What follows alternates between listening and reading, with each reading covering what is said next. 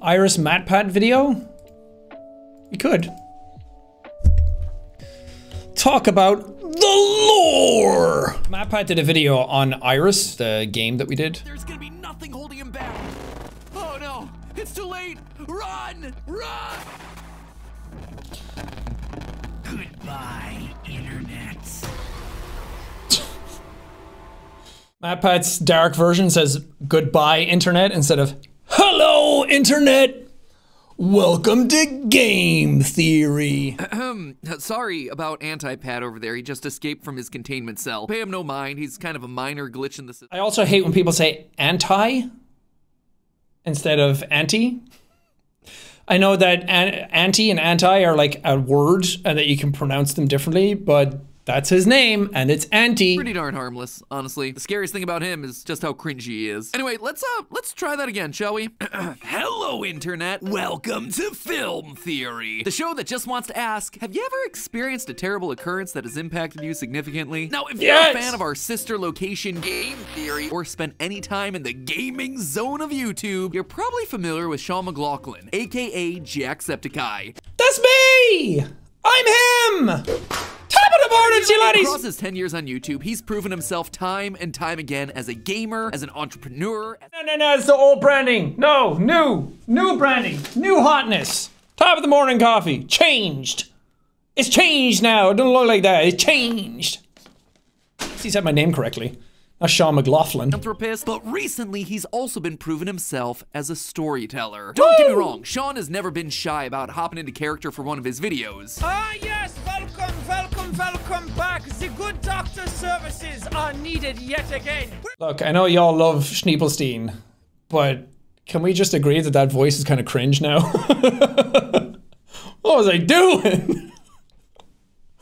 Ah, yes, the good doctor. The the stories and the lore and everything has gotten a bit more serious since then, so this stuff just seems goofy now to me. Where's my wand? You can't be a magician without a wand. Where's my hat? that is not canonically Marvin's voice, by the way. Could you imagine? Abracadabra, you sons of bastards! And it all begins with one. I've been here this entire time. keeping an eye on things. The powerful and terrifying Antisepticeye. Ah! Sean released what has got to be one of his most ambitious projects to date, the Iris Project, an Uh-huh. interactive live stream where the chat used text commands to cooperatively play a legitimate video game, solving puzzles and ultimately unlocking all sorts of new channel lore. The video itself follows one specific Sean character, Chase Brody. Now, to catch you up in case you don't watch every single one of Jacksepticeye's Let's Plays, Chase is your typical bro. So much so that his spin-off YouTube series is called Bro Average. Yo, what's up, guys? I'm Chase, and welcome to Bro Average. But while on screen Chase is living large with teabagging trick shots, off screen he appears to be having difficulty with his family life. This one's called I'm Staying at My Sister's This Weekend. I don't care what your sister says. Just please, at least let me see them at the weekend still. This escalates, and ultimately it comes to a climax at the very end of a 2018 video titled What Do You Want From Me, in which Chase hears his family screaming. He goes to explore his house only to be confronted by another of Sean's characters, the unpredictable and violent Antisepticeye. Oh, it's gonna crush my soul every time he says it. Anti-Septiceye.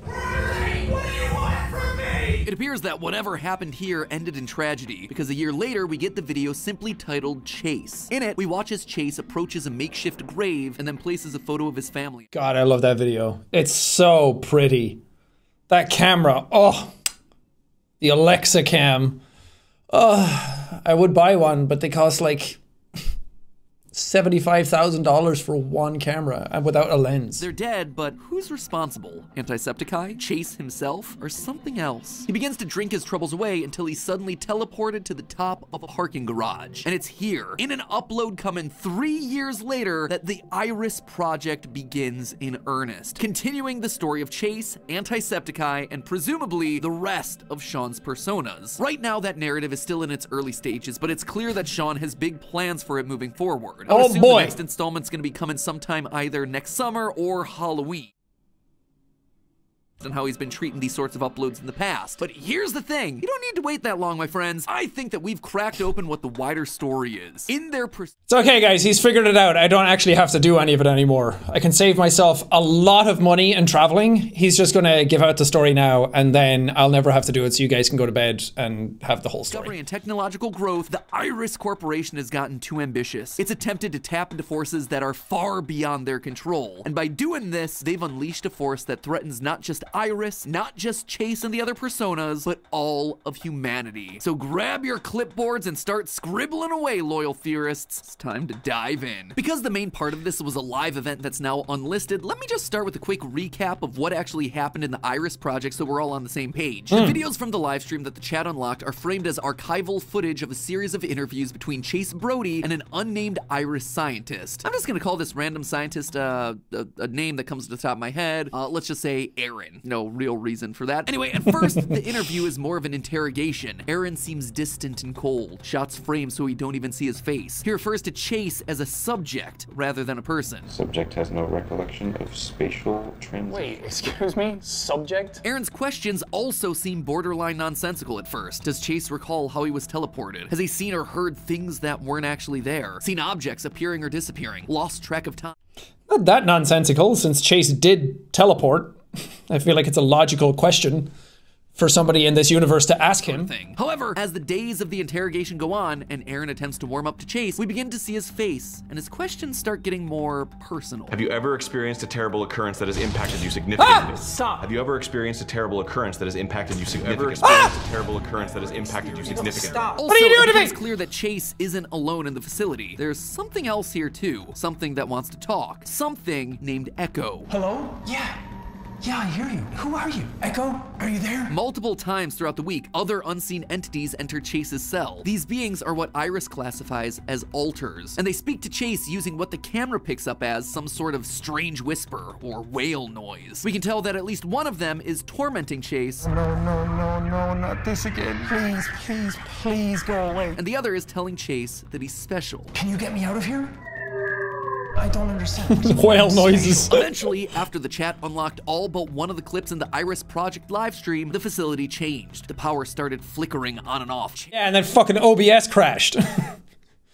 Literally, power went out. strewn about. Red warning lights blared throughout the building. The facility is in lockdown. Security guards enter Chase's room and escort him out as Chase warns them of the impending danger that they all face. Wait, we have to leave. I've, I've been here before. Please, let me go. Iris ignores Chase's warning, only to discover Antisepticeye, here to once again wreak havoc on Chase's life. Oh, Chase. So, now that you're all caught up, the way I see it, there are three main mysteries presented to us here. Oh, three main mysteries, three eyes, three irises. it's all connected. Iris up to? How do Chase and Anti play into all of it? And finally, who or what is Echo? Well, I believe we have answers to all three of those questions today, but before we start decoding what it all means, This video is sponsored by NordVPN. Could you imagine? Let's take a moment to talk about our sponsor of the video.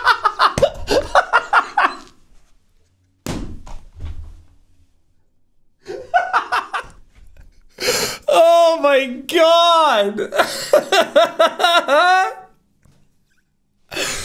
oh, holy shit! Oh, when you're a YouTuber, you always know. Who is Echo? Out of all the entities that interact with Chase, this character seems to be the most benevolent. It wants to help. Wait, where are you? How, how can I hear you?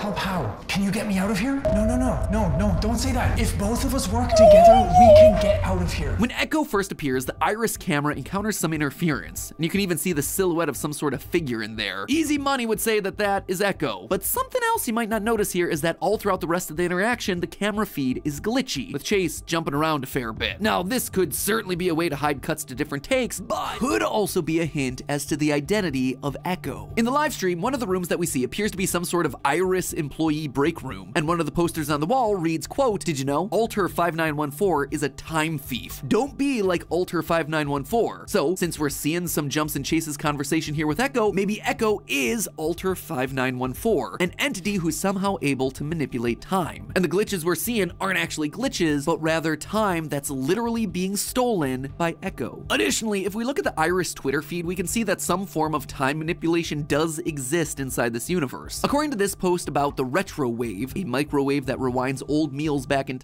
Shout out Sophie. Sophie artwork, shout out.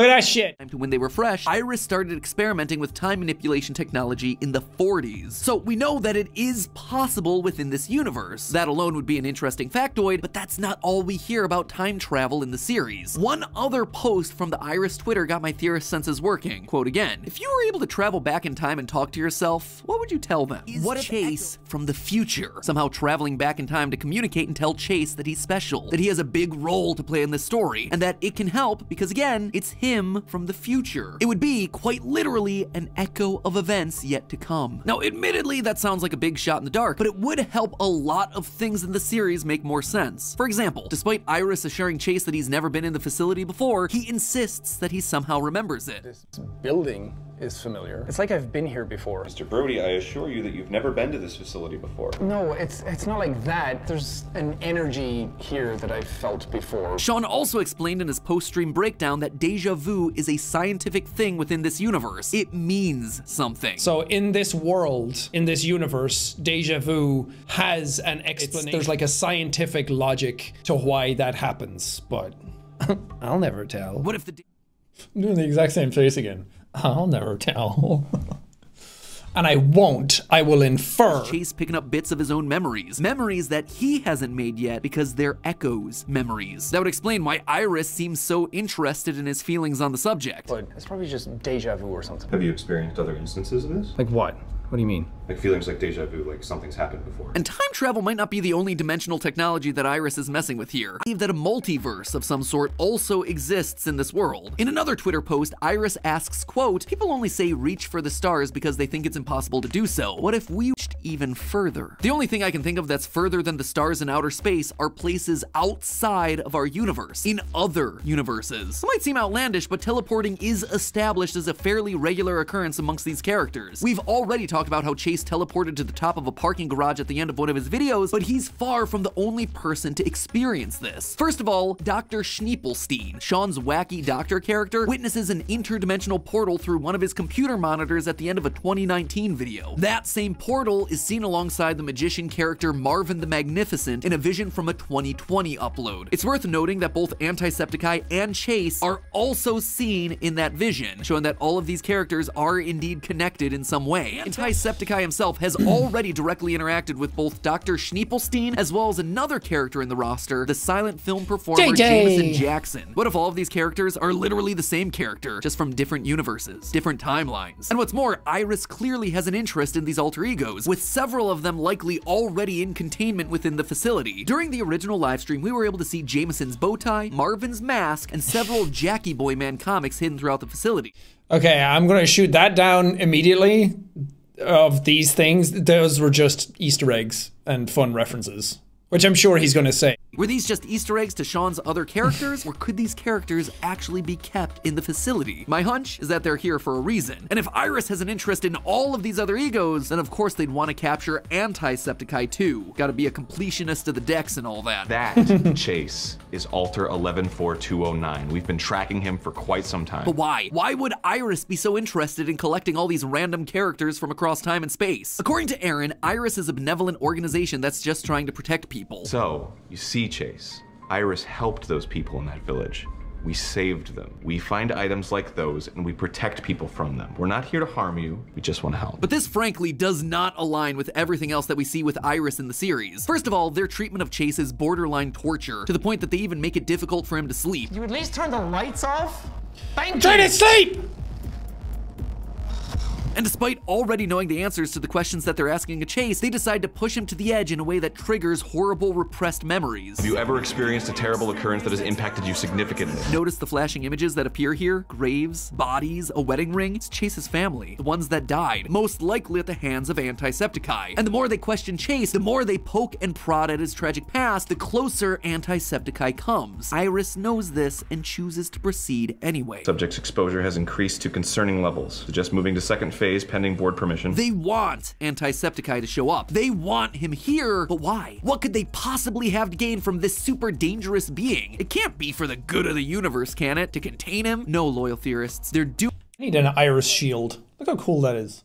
Harness the power that Antisepticeye holds. Despite this series taking place basically in the present day, Date is October 18th, 2019. Iris has access to technology that's far beyond what we have in our universe. On their social media page, they talk about true high definition TV in the 1970s, implants that make you smarter, microwaves that can reverse time on specific objects, and quantum displacers that can change the mass of objects. However, the piece of tech that we get the most elaborate explanation for is their Watcher security system. These security cameras have incredibly high 12K resolution. They can detect both the physical health and emotional state of the people they record, and most importantly to our purposes today, they're wireless and batteryless thanks to an antimatter power source. Yeah, Iris apparently has antimatter technology in the year 2019. For proof, look no further than that Marvin the Magnificent video that I mentioned earlier. In it, we get a close-up of a spell book, and what's that written inside? Iris equals antimatter. this is from a video that was uploaded back in 2020. 2020.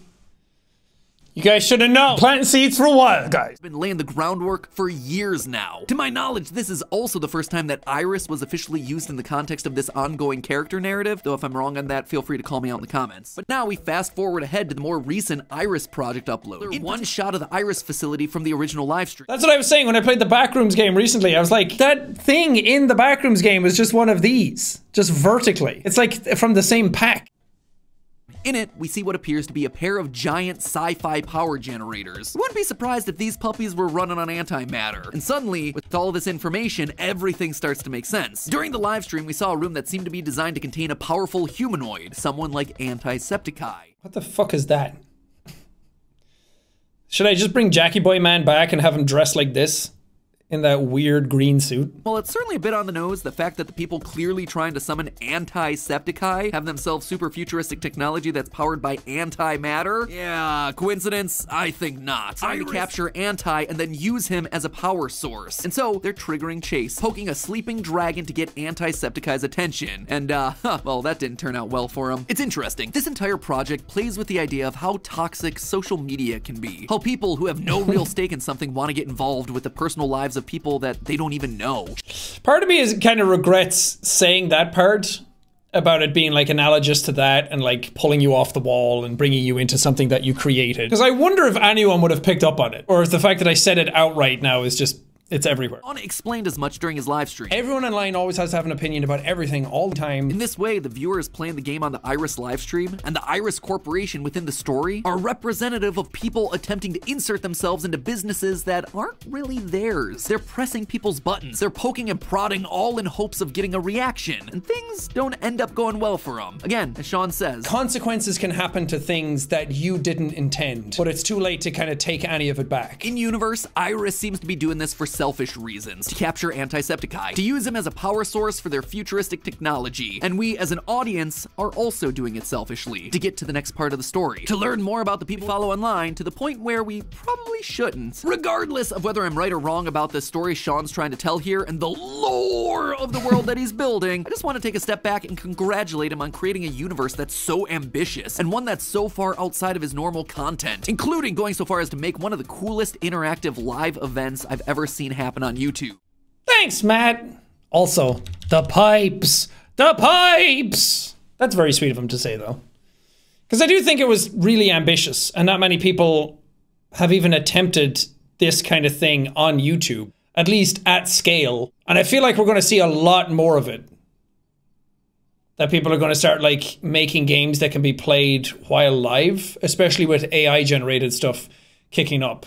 So I'm quite I'm quite proud of what we made and what we did, even though it didn't work like 100% as intended. I think what was there was really ambitious and it we pulled it off pretty well. A clap and a half to Sean and all the developers at Hyper RPG for putting that one together. You know that I'm a big fan of content creators trying new things on their channels and pushing the limits of their creativity, so you can bet I'm excited to see where this one is gonna be headed next. So, as always, my friends, in the meantime, remember It's a fact, a film fact, and. Did, did you really just say and glue? As in, you were just looking for the opposite of and cut? Yeah, No, see, this, this right here is why we can't have any good lore for the channels, all right? sorry. Oh, that's a fun video. Thanks, Matt. Regardless of whether stuff is right or wrong, I will say that whether stuff is right or wrong is not dependent on that video. I'm not the type of person that if people guess something and it was right right from the beginning, I'm not going to really change it. I don't really like as, as someone who watched Lost and the fact that they were changing things as they went because they didn't want to play into what fan theories were. I don't like that. I like when it's like you had a plan, you did it. If people guessed it, fair enough. If they didn't, fair enough. So a lot of the stuff that if it turns out to be true will align with this. If it's not, it's not because I saw this and was like, no, I'm changing it now. I not only talking about the thing, but like showing exposure to that kind of stuff and the things that I'm doing and it's just nice to have people pay attention and make videos on this kind of stuff because I spend a lot of time and effort making it. So it's nice. Curious. Most curious. Again, I'm not going to deny or confirm anything in that except for the Easter egg thing, but I can't wait to do more of it. I can't wait to build out that universe. But yeah, it is so ambitious that I'm like, it's taking extra time to like get things in place because I want it to go well.